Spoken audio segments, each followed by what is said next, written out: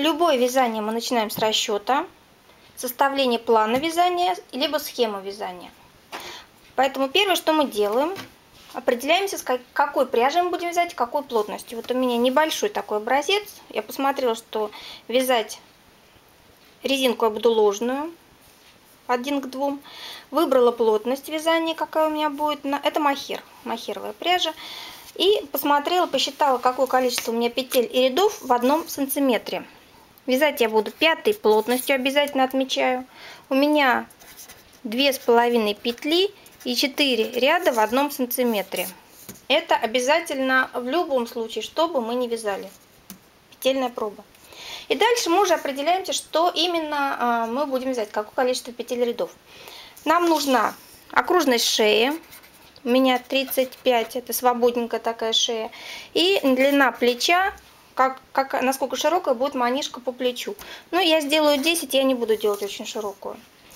В какой форме у меня будет эта манишка? Она будет лежать на плечах. Вот здесь вот будет иметь резинку. И вот такой вот уголок.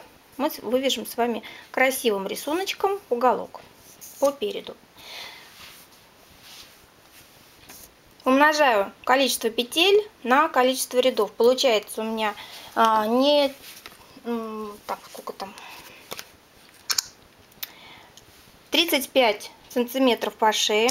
Умножаем на 2,5 петли в сантиметре 87,5. Я сделаю 90. То есть у меня по шее 90 петель. Учитывая, что и э, Основное вязание и резиночка примерно одинаковое количество петель имеют, потому что резинка тянется, а основное вязание э, стабильно. Оставляем 2,5 петли и на рисунок, и на, и на резинку, и на основное полотно. Меня это устраивает. Вот такая петельная проба. Распределяем рисунок. 90 петель. Смотрите, как у нас будет э, делиться наше полотно. Мы делим его на 4 части. Вот это спина, перед, плечо, плечо. Мы не будем делать какой-то особый расчет, мы просто поделим наше количество петель на 4 части. Все. Но учитывая, что перед и спинка лежат ровно, а на плече мне нужно, нужен сгиб, я умножу количество петель на 2. Итого 90 петель. Ой, 90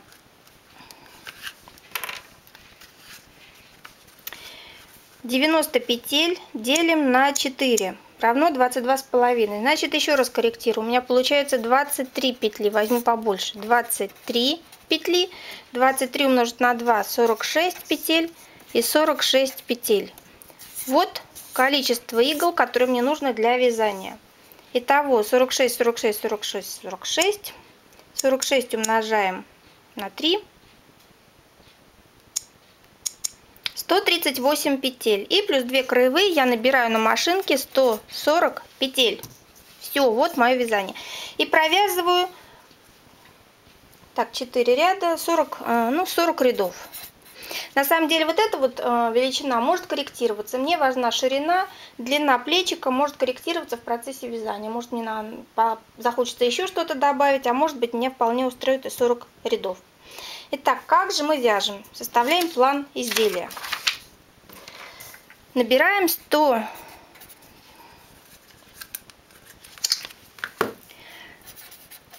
набрать 140 петель. Вяжем подгибчик.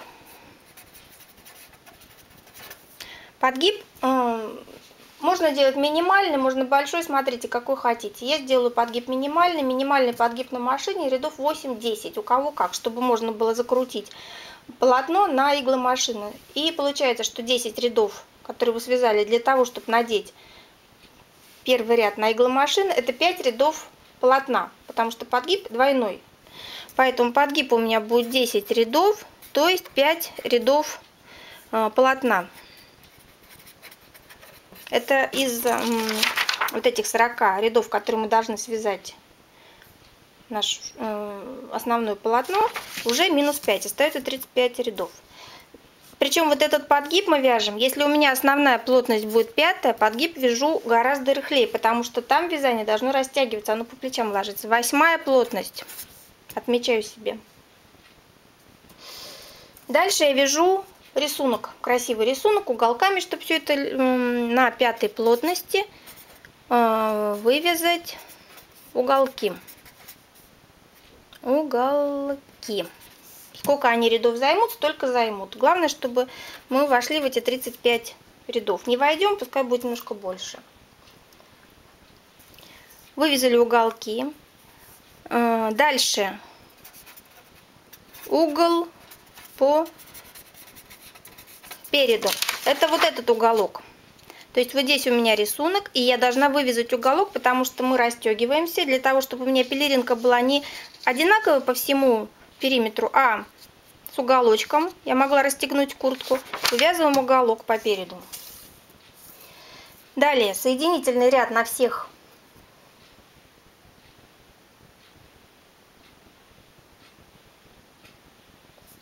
иглах на большой плотности. То есть я уголок по переду провязала.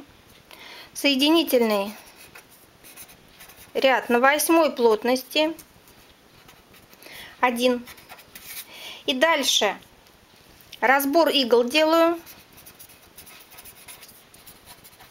через 2. То есть как я буду резинку? Вы можете ложную резинку, можете э, реальную резинку вязать. Это уже дело ваше и вашей машинки. Если у вас двухфантурная, делайте пересадки на вторую фантуру, вяжите обычную резинку. Можете вязать ложную резинку. Все э, как хотите. Я буду вязать двойную эту резинку, разборок через 2. Потом вяжу двойное полотно. Полотно я буду вязать, у меня шея длинная,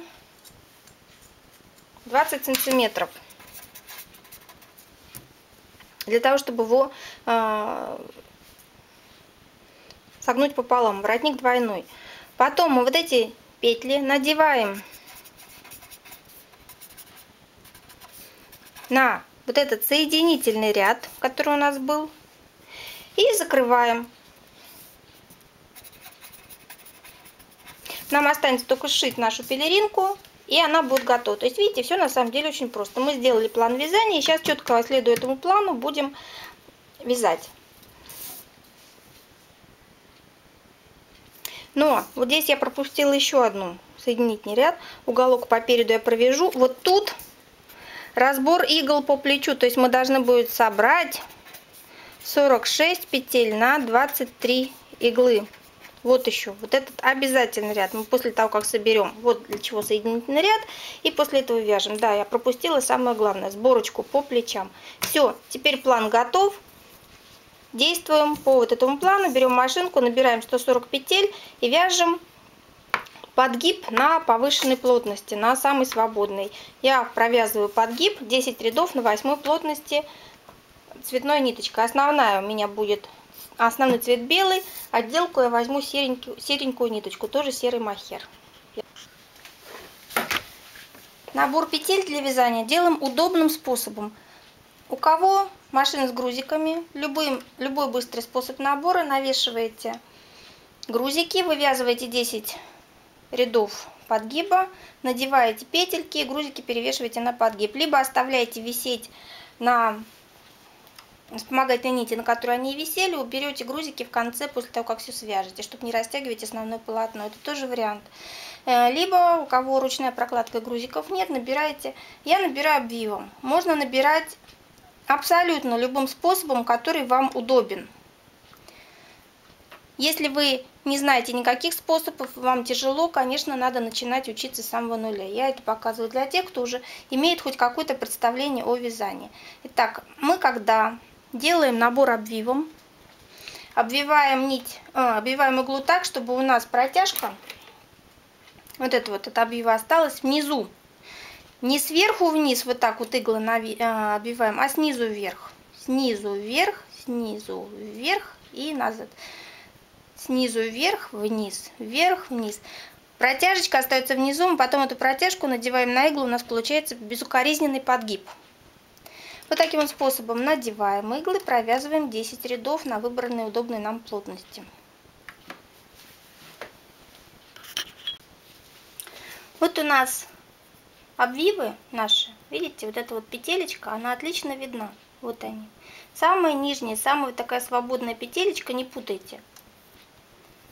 Она отлично видна, и мы ее четко надеваем каждую петелечку, вот такую длинную, на каждую иголку. Их очень хорошо видно.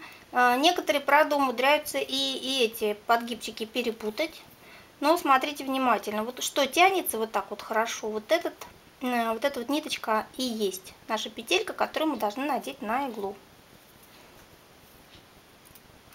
Потому что иначе у нас будет неровный красивый краешек, а вот такой очень некрасивый неровный рубчик. Нам это не нужно, мы, э, так, если что-то не так, скинули и надеваем дальше. Полотно разворачиваем, придерживаем пальцем.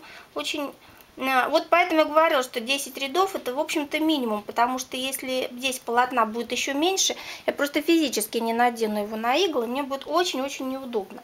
Ну, 5 рядов подгиб вполне себе достаточно. Надеваем весь этот подгиб на иголки. Если у вас был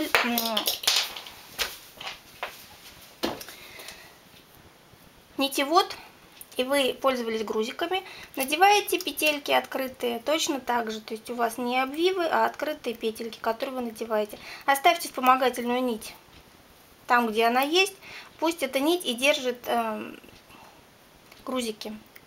Пусть она растягивается, а не вязание. Потому что если вы вот на это полотно наденете грузики, видите, оно все перекосится. И вернуть его обратно будет очень сложно. Особенно если это махер или какая-то а, другая тоненькая ниточка. Пусть все висит, но вспомогательная нить и равномерно оттягивает ее вниз. До конца надеваем и провязываем на всех-всех иголках один ряд. Не забудьте, что здесь у нас плотный гораздо свободнее основной плотности. То есть не пятая, как я считала, а восьмая. Для того, чтобы у нас была хорошая растяжка по краю. Потому что полотно будет лежать не ровно, а собираться на плечах. Должно идти по кругу. Поэтому вывязываем на такой свободной плотности, потом ее будем постепенно уменьшать.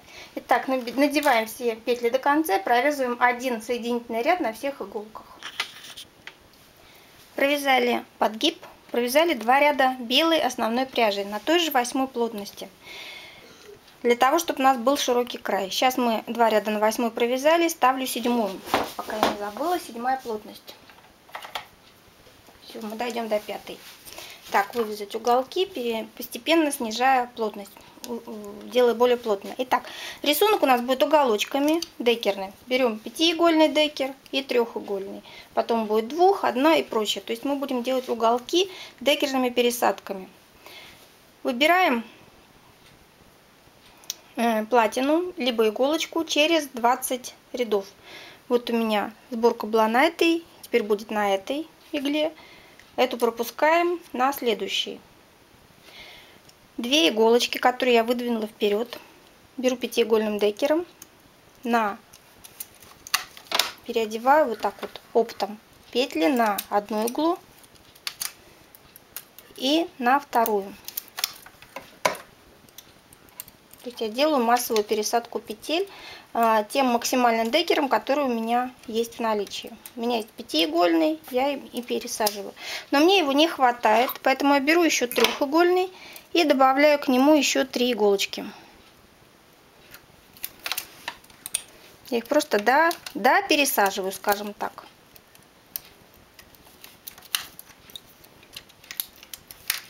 Получается, что у меня на двух иглах вот здесь вот сборка, а здесь две иглы и вокруг них ажурчики. То же самое здесь. Выдвинула, помните, две петельки? Эту пропускаем, следующую выдвигаем, эту пропускаем, следующую выдвигаем. Вот так вот через 20 петель выдвинула иглы. И максимально, максимальным своим декером просто сдвигаю все иглы. Если вы не понимаете, как это вязать, у меня в бесплатных уроках э, в вязальном разделе есть красивый край. Посмотрите, там такой край есть. Он более подробно рассмотрен, очень подробно рассмотрен этот край. Обратите внимание, э, обратитесь в этот вязальный раздел, в раздел рисунков. Красивый край называется. Там очень подробно этот рисунок увидите. Сейчас э, я не буду вам так подробно об этом рассказывать, просто показываю, что мы на каждом ряду делаем сдвижку на одну петлю меньше. То есть в следующем ряду я буду делать не пятиигольным декером и до досаживать уже не трехигольным, а двухигольным, потом одноигольным, потом только пятиигольным, потом четырех, трех, двух, одним. То есть у меня получится вот так вот. Идут под уклоном рисунки. Смотрите, красивый край в вязальном разделе «Бесплатные уроки машинного вязания» на нашем сайте. Там очень подробно рассмотрен рисунок. Сейчас мы этот край вывязываем и останавливаемся.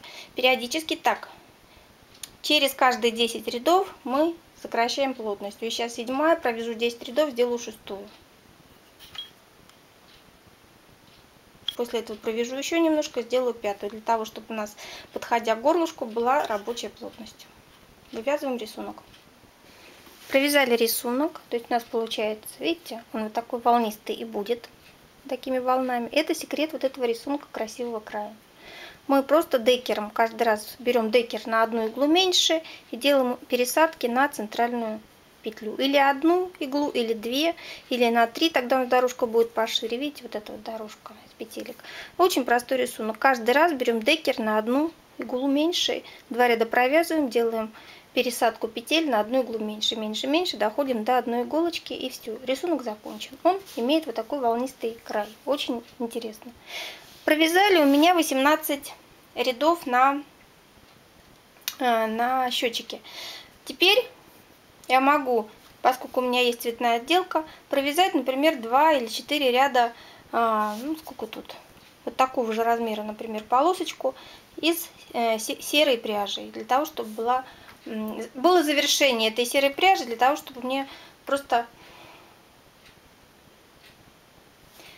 Ну, теперь можно провязать полосочку серой, можно не делать этого, можно было сразу делать э, все одно, одним тоном, можно делать полосатый, такую имитацию свитера. Поэтому смотрите, моя задача провязать, у меня есть 20 рядов, еще рядов 10, потому что у меня вот это вот, это вот 5, 20 и еще 10 рядов. Я должна провязать, э, как хотите вяжете, хотите полосатый, хотите Э, одним тоном. Я сейчас провяжу полосочку серенькую на пятой плотности. То есть ставим рабочую плотность и провязываем 10 рядов любым-любым способом. Полосато, э, однотонно, кулиркой. Можете еще какой-то рисунок ставить. Я больше рисунок делать не буду. Мне вот на, на моей манишке достаточно будет просто вот этого края. 10 рядов. Вывязали плечика. Теперь я буду делать уголок вот этот, вот этот уголок вывязывать. Помните, как у нас распределялись петли? 46 плечо, 23 перед, 46 плечо, 23 спинка. Ну, вот так вот и идут по очереди. 46, 23, 46, 23. И будет сшивание по краю. Поэтому э, перед я могу делать с этой стороны, могу с той, неважно. Шов у меня будет идти по спинке, Поэтому вот здесь вот у меня будет уголок. 23 а, петли являются частью переда. Поэтому вот эта вся длинная-длинная часть у меня будет рукав, бока, а, бок, плечика. 23 петли от 0 до 20 раз, 2, 3. Вот эта вот часть является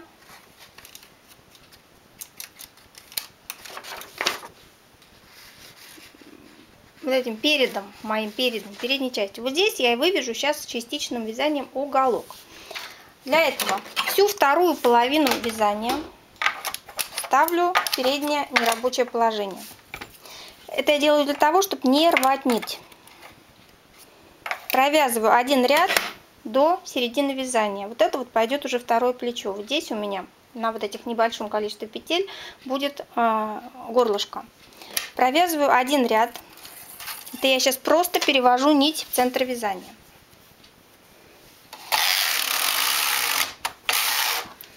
И 46 петель плюс одна краевая, которая ведет на сшивание, убираю в переднее рабочее положение.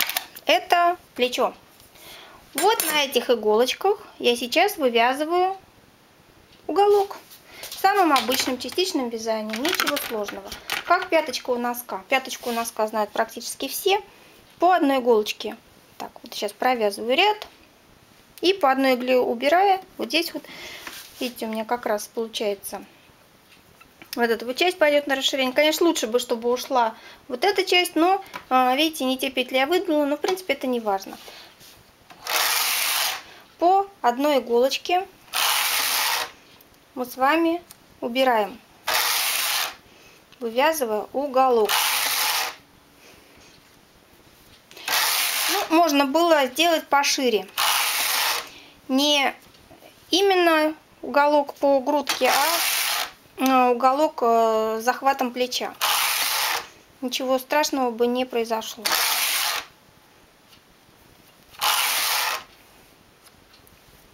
Так, вяжем, вяжем.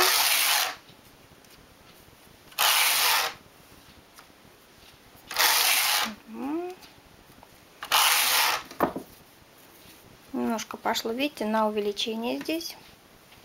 Не сильно, но достаточно. Но когда мы выстираем, все отлично уляжется, все будет хорошо.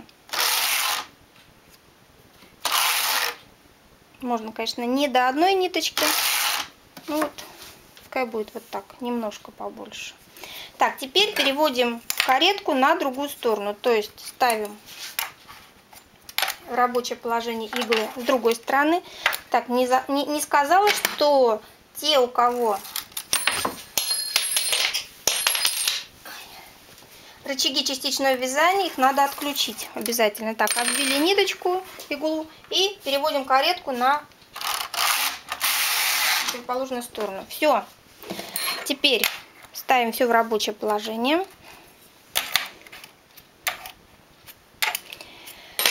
Смотрим, что у нас там идет по плану. Уголок по переду мы связали. Теперь собрать 46 петель на 23 иглы. Все, провязываем. У нас вот здесь вот несколько обкруток они совершенно не нужны. Провязываем один общий ряд. Сбили все обкрутки. Берем вспомогательную ниточку, любую бросовую нить, и снимаем наше вязание. Все, просто срезаем вязание на вспомогательную нить. Вот она наша манишка. Вот так она выглядит. Теперь наша задача надеть ее обратно со сборочкой. То есть мы выбираем 46 петель с одной стороны. Так, 46. И 46 с другой стороны. Раз, два, три, четыре. И отмечаем 23. Раз, так, 23. 23 сюда. Просто выставляем, чтобы не путать. И 23 сюда. Все. Вот наши... Так, плюс по, по одной еще и краевой про них забыли. Вот разделили. И теперь мы просто совершенно э, спокойно и даже не, не думая на вторую часть, это наше горлышко, по одной петле на иглу. Здесь это наше плечико по две петли на иглу. Надеваем совершенно спокойно, не, не раздумывая, не задумываясь. Потому что у нас количество игл совпадает. Где мой крючок? почему все теряется. То есть также изнанкой к себе, а, ничего не переворачивая, не перекручивая, просто вспомогательную нить загибаем назад и по 2 петли на одну углу надеваем.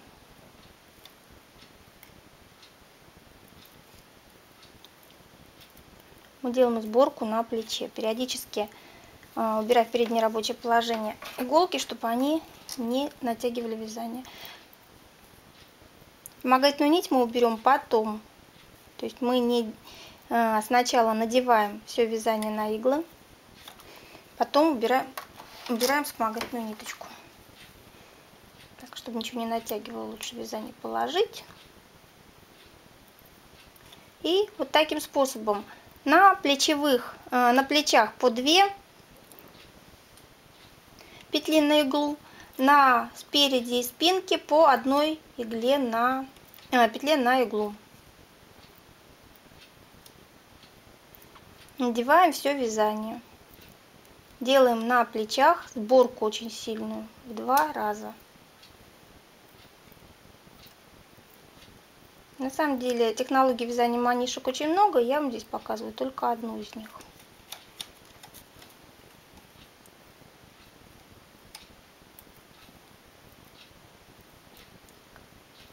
Вот так вот и вывязываем. На самом деле можно было отметить, пока наша манишка висела на иглах, середину и идти от середины, чтобы, если вы боитесь запутаться, отмечаете середину, вот эти 23 иглы, тогда вы не запутаетесь и все будет гораздо ровнее. Как бы, если страшно. На самом деле, учитывая, что мы все иглы посчитали первоначально, то э, перепутано тут быть ничего не должно. Надеваем, надеваем, надеваем. Все полотно. И провязываем один соединительный ряд на очень свободной плотности.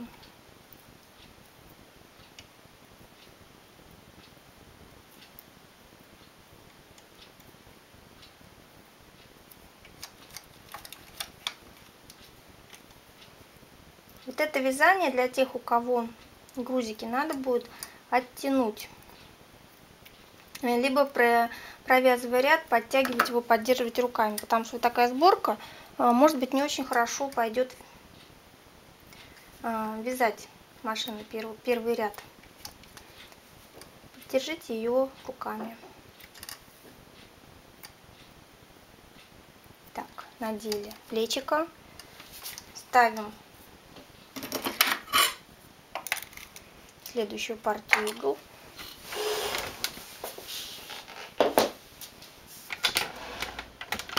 Видите, у меня эти иглы тоже стояли впереди, но я их отметила. Ну, они до, до, нулика, до нулевой платинки, поэтому не перепутать. И здесь по одной петле на иглу.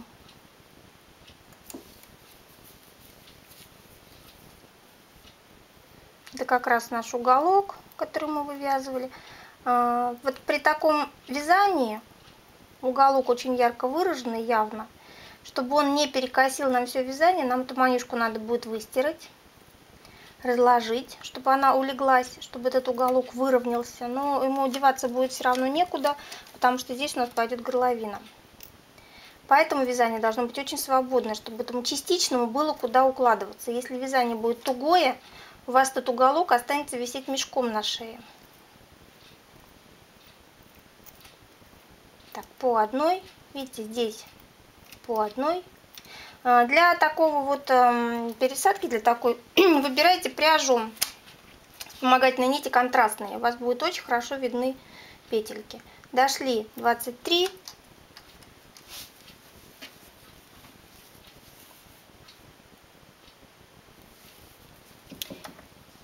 Теперь следующие иглы по, э, по одной и по две. Все то же самое надели полотно, просто вытягиваем нашу вспомогательную нить, она прекрасно вытянется. Мы ее распускаем. Если вы нигде ее не задели, не надели на иглы, она прекрасно, видите, у нас освободилась, ее не надо было а, рвать, распускать, э, рвать и э, портить. Все, это может быть любая пряжа, которой вы пользуетесь. Теперь один соединительный ряд на большой плотности. Для чего он нужен, потом увидите. Один ряд. Соединяем наше вязание. Ставлю восьмерочку и один ряд провязываю.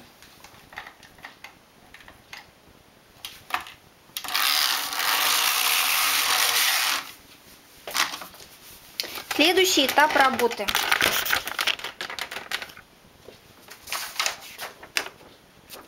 Соединительный ряд, 8, соединительный ряд 8 плотности, 1 провязали.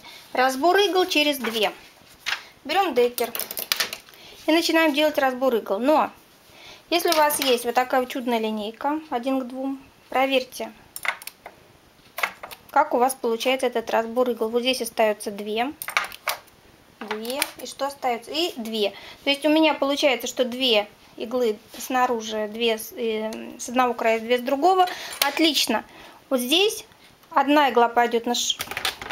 одна игла пойдет на сшивание, вторая петля создаст у меня имитацию отсутствия шва. Очень хорошо. Вот отмеченные петельки я просто пересаживаю на соседние.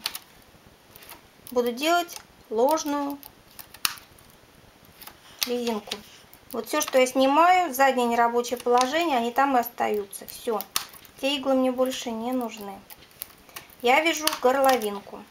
Если у вас машина двухфантурная, или у вас много времени или большое желание, вы можете связать полноценную резинку. Я буду вязать ложную.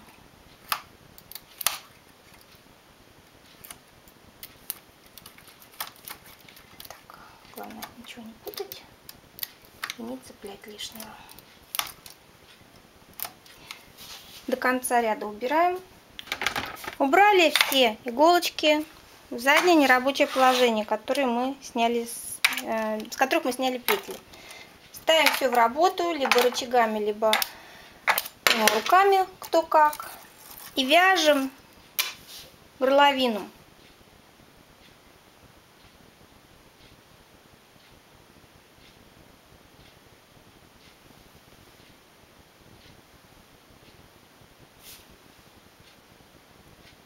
Ложную горловину 20 сантиметров, либо сколько вам нужно. Провязывайте нужное количество рядов. Не забудьте выставить рабочую плотность. Провязали двойную длину шеи. Теперь просто берем вот этот вот соединительный ряд наш, который мы провязывали. Он, в общем-то, должен быть хорошо виден. У него такие крупные петельки, вот они все. И мы эти крупные петельки надеваем на иголки. Но поскольку там петли у нас идут без разбора еще, вот эти петли, выставляем передний, а, в рабочее положение все-все иголки.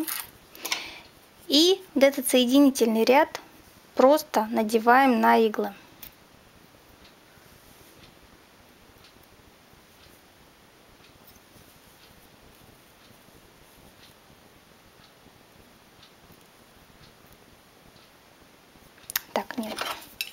Он уже с разбором идет. Он у нас идет уже с разбором.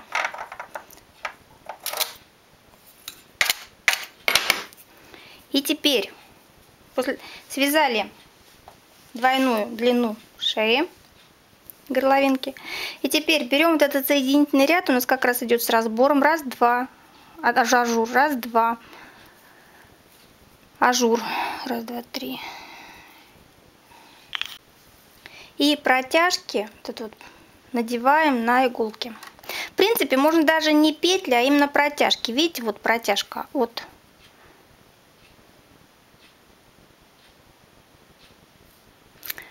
нашего ажура. Если мы ее сейчас наденем на иглы, очень хорошо получится. Поэтому достаем иголку, протяжку надеваем. Так, не вот эту, а вот эту.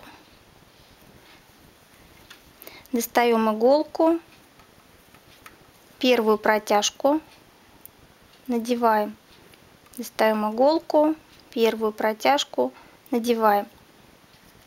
Вот таким вот способом надеваем все, ой, все протяжки. Видите?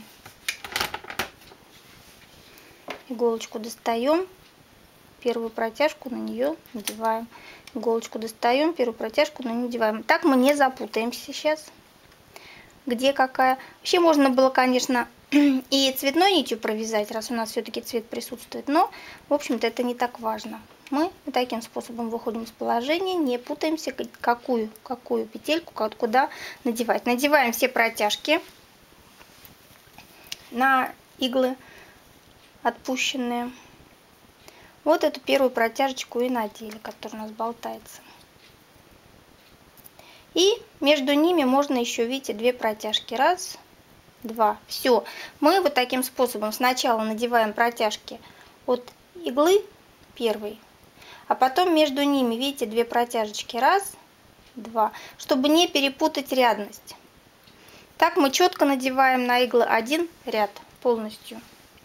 Так и здесь мы видим протяжка. Вот она и вот она. На деле. Здесь протяжка вот и вот на отделе. Надеваем все изделие на иголки. После того, как надели все петли на иглы, закрываем очень рыхло, удобным способом. Я буду закрывать косичкой, такой очень, очень-очень свободной косичкой. этой же рабочей нитью. Терять нельзя, иначе у нас будет перетянута шея. Очень свободно, очень рыхло закрыть. Рыхло, рыхло, рыхло. Косичка заключается в том, что мы снимаем все петли на петлю-ловитель и провязываем общую петлю, рыхленько так. Ориентируясь на петлю, на иглу через одну. Дотянулись, ой, дотянулись, значит петля рыхлая. Сняли следующую петлю с иглы, образовали общую петлю, дотянулись до иглы через одну, петля будет одинаковая, свободная. Сняли, дотянулись до петли через одну, сойдет. Если вы очень сомневаетесь или не умеете делать, а, ну, у вас некрасивое получается закрытие края, очень-очень рыхло провяжите один ряд. У вас машина сделает соединительный ряд одинаковый, чтобы не было некрасивости с лицевой стороны. Когда э, у вас, если у вас нет колков, на которых висит вязание, э, вязание может повисать периодически. Чтобы этого не происходило, выдвигаем иглу через сколько-то там рядов. Обвиваем ее и закрываем дальше. У вас вязание висит на вот этих иглах. Оно никогда не свалится. Вот таким вот способом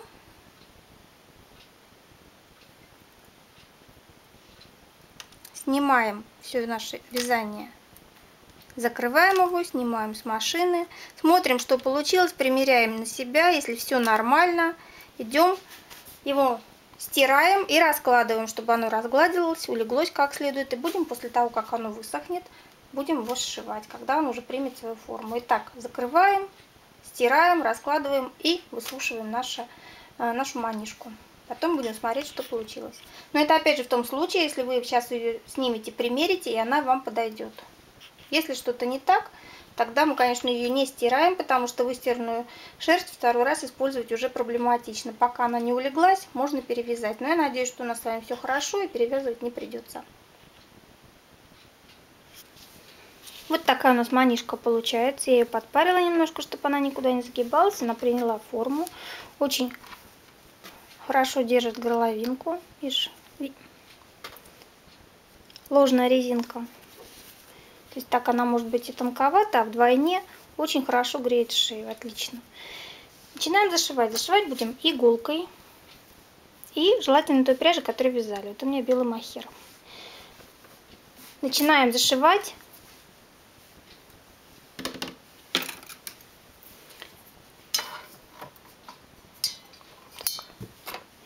Вот с этого подгиба. У нас вот здесь подгибчик был. Вот он. Его мы должны зашить. Причем должны зашить так, чтобы его не было видно. Можно взять вот эту вот шерсть, которая у нас были. Можно белую. Как, как хотите. Я буду зашивать этой белой ниточкой. Все сразу. А потом вот эти все хвостики заправлю внутрь подгиба. Видите, на изнанку, вот это изнаночное, лицом внутрь. Складываем рядышком наше изделие так вот. Вот они. И начинаем зашивать. Так, здесь вот у меня можно спрятать ниточку. Ниточку пока не прячу. Вот, вот этот хвост пускай остается висеть, он мне не нужен. И теперь я подхватываю петлю с этой стороны, подхватываю петлю с этой. Петля у меня петельный столбик целый петельный столбик вот он одну петелечку здесь одну петелечку здесь одну петелечку здесь петельный столбик Видите, я даже не затягиваю пока. Это у меня хвостик. Главное держать их рядышком, чтобы не перекосить. Одну петелечку здесь. петелька тут, петелька там. И через небольшое количество строчек я просто затягиваю э, нитку у меня получается совершенно не видно шва. Едем дальше. Вот таким способом. Петелька здесь. Не подтягиваю пока. Петелька здесь. развернули лицом к себе. Мы связали, так, все вывернули назад, все нитки, и поехали вот таким же способом. Петля с одной стороны, петля с другой. Целый петельный столбик у меня уходит внутрь. И чем чаще я буду делать швы, эти стежочки, тем аккуратнее у меня будет сшито изделие. Несколько стежков делаю. Сейчас я дохожу до края серой части. Раз. Так. Петельный столбик. Вот он. Все, вышло.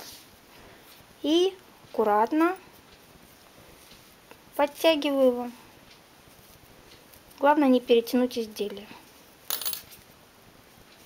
Все. И даже несмотря на то, что у меня нитка белая, а не серая, шва не видно. То есть нитки не видно. Вот. Изгиб идет как шел, ничего не видно. Все вот эти вот ниточки, которые бахрома тут висела, мы начинали вязание. Пусть висит, оно не мешает. Так. Все внутрь. И все. Теперь разложили наши изделия спокойненько. Подогнали вот так вот длину изделия, вот так, чтобы полоса у меня не прерывалась. И идем петельная петелька с одной стороны, протяжка между э, петельный столбик один за протяжку, петельный столбик с другой стороны. Вот эта протяжка очень хорошо видна. Главное не сбить вязание и брать по одному, по одной петелечке с каждой стороны напротив друг друга. Получается такой эффект отсутствия шва. Очень просто сшивается. А, несколько стежков сделали,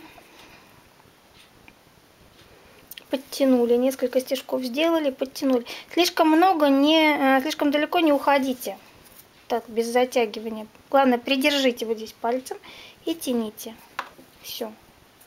Подтянули там, подтянули здесь, шва не видно. Удобный способ, но он не эластичный совершенно. А, если бы мы сшивали, видите, с обратной стороны, очень ровненькая дорожка идет. Стык я сдан, а, здесь не сшиваю, есть еще другие способы сшивания. Здесь я показываю сшивание вот такое. Шов виден. Можно сшивать без шва, но это немножко другая технология. В этом изделии я показываю такое сшивание.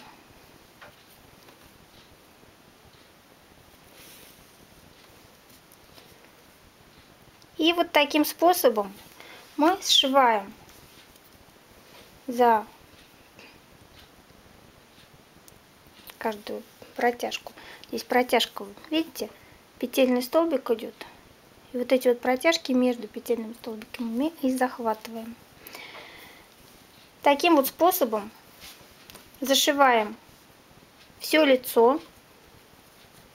Вот, вот так лицо, лицо, лицо. Переходим и вот таким вот, так вот так по кругу зашиваем изнанку, останавливаемся вот здесь, где, где у нас будет сшито вот это вот.